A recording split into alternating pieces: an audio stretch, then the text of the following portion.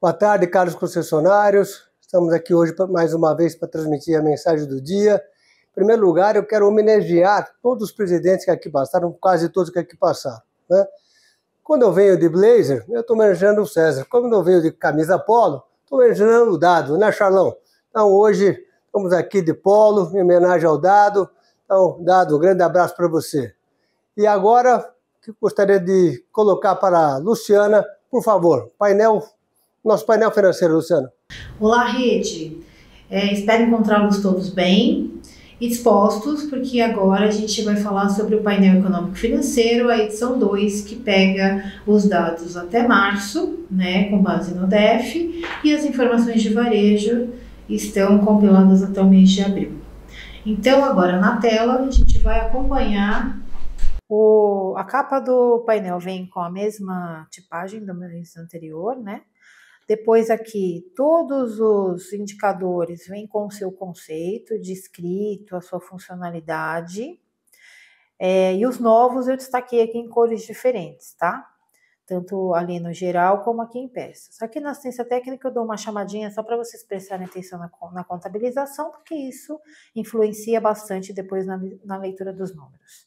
Então, nós temos é, um indicador de resultado operacional bruto, depois, as despesas vêm aqui totalizadas e aqui do lado eu destaco as operacionais, cada uma por tipo. E vocês vão ver que a maioria dos gráficos eles vêm por região. Alguns eu até consolido por uma questão até de espaço, mas a grande maioria vem separados por região.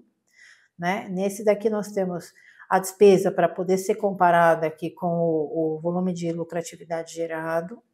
Aqui do lado, quanto que essa lucratividade está trazendo de retorno para o capital que foi empregado.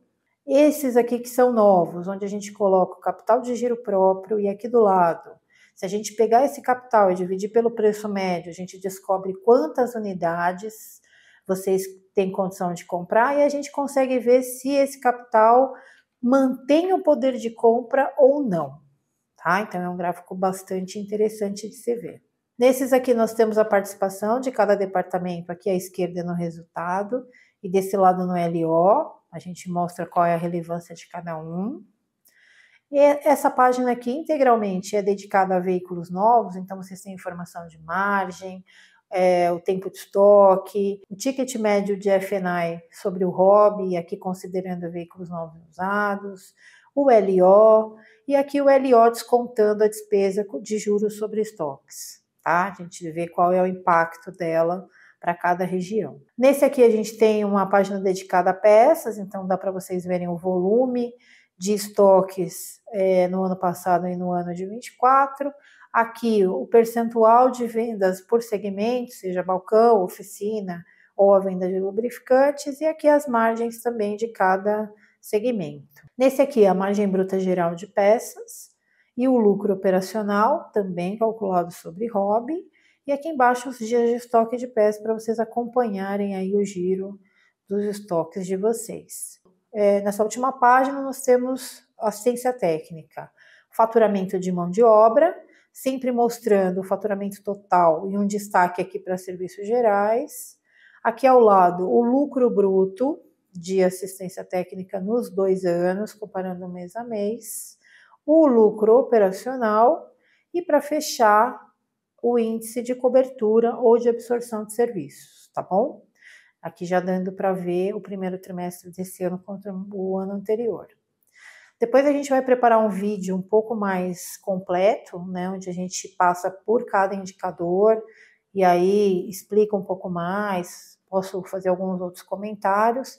Nesse daqui era só para informá-los que a segunda edição está pronta, está atualizada e que vocês já estão com ele aí disponível para fazer uso do relatório. Então, meu recado para hoje era esse. Eu espero que vocês aproveitem bastante o relatório e que, se tiverem sugestões, comentários ou se uh, mesmo quiserem fazer algumas comparações com seus números individuais, basta me ligar, eu estou aqui à disposição sempre que vocês precisarem. Obrigada e um grande abraço a todos.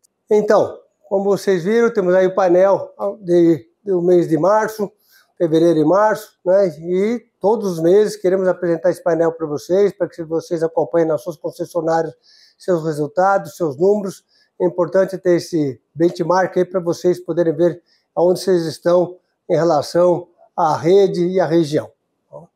E uh, também gostaria de, hoje principalmente, estar aqui homenageando todas as mães desse país. Né? Então, a todas as mamães aqui da, da, Sobrave, todas as mamães da Dizal e principalmente as mães da nossa rede de concessionários. Né?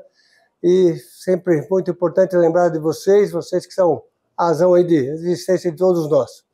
E não poderia deixar de fechar esse mensagem de hoje para falarmos outra vez com a contribuição que estamos fazendo para os colegas do Rio Grande do Sul. Né? Como vocês podem ver, aqui na Dizal, um movimento espetacular, fabuloso. Né? Ah, olha só esse, essa ação que foi tomada aqui com a iniciativa dos próprios colaboradores da Dizal. Parabenizo vocês, agradeço vocês. Espero que vamos ter mais contribuições ainda, assim como da nossa rede. Esperamos também que cada vez mais nós possamos ter a contribuição de vocês para ajudar os colegas do Rio Grande do Sul. Por isso é só. Bom fim de semana. Bom Dia das Mães a todos. Um abraço.